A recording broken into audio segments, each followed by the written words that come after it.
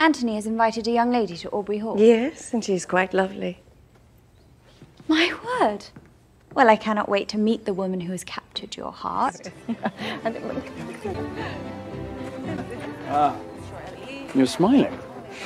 I was smiling at the view, which you are now blocking. Oh, you brought your dog. Yes, Newton is an excellent judge of character. Oh, see? Pall Mall is less about the rules, more about the goal. It is a poor player who plays the game and a wise one who plays their opponent. I believe I should rather enjoy this game. Well, then there is Anthony. Let me guess, a most ruthless, cutthroat player. The mallet of death.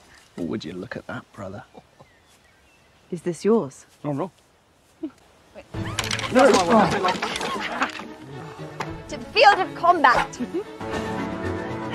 Other practice much, brother. Yeah, allow me.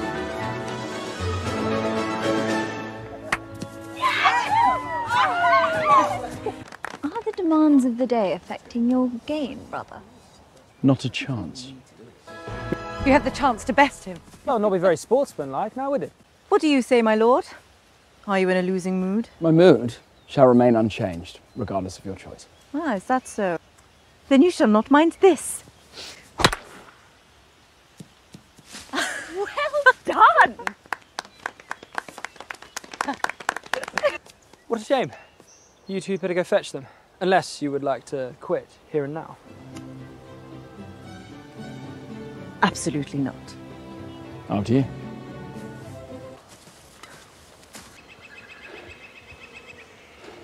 We could pluck them out. No one would be any the wiser. But I would know. There's nothing for it then.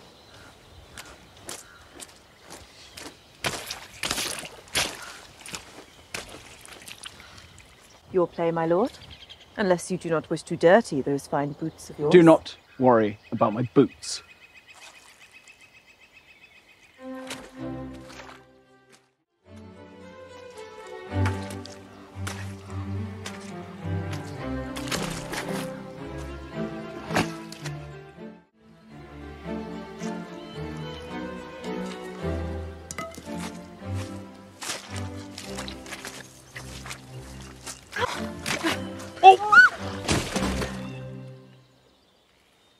I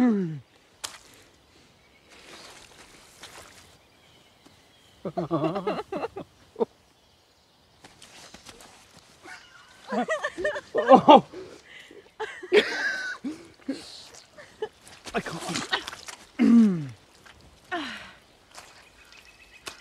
oh. oh.